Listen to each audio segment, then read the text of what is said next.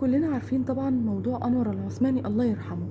اليوم تمكنت الشرطة القضائية بمدينة طنجة بالتنسيق مع مدينة تطوان وعلى ضوء معلومات دقيقة جدا وفرتها مصالح المديرية العامة للمراقبة في يوم الاثنين 7 نوفمبر الحالي من توقيف فتاة قاصر تبلغ من العمر 17 سنة وذلك للاشتباه في تورطها في ارتكاب الجريمة والضرب والجرح باستعمال سلاح أبيض وده أدى إلى الوفاة والتي ذهبت ضحيتها الله يرحمه الطالب أنور العثماني وكان يبلغ من العمر 20 سنة. وتم الاحتفاظ بالمشتبه فيها مع مراقبة الشرطة لكونها لا زالت قاصر بينما تم الاحتفاظ بقاربها تحت تدبير الحراسة النظرية ورهن إشارة البحث الذي تشرف عليه النيابة العامة المختصة وذلك لتحديد كافة الظروف والملابسات المحيطة بهذه القصة.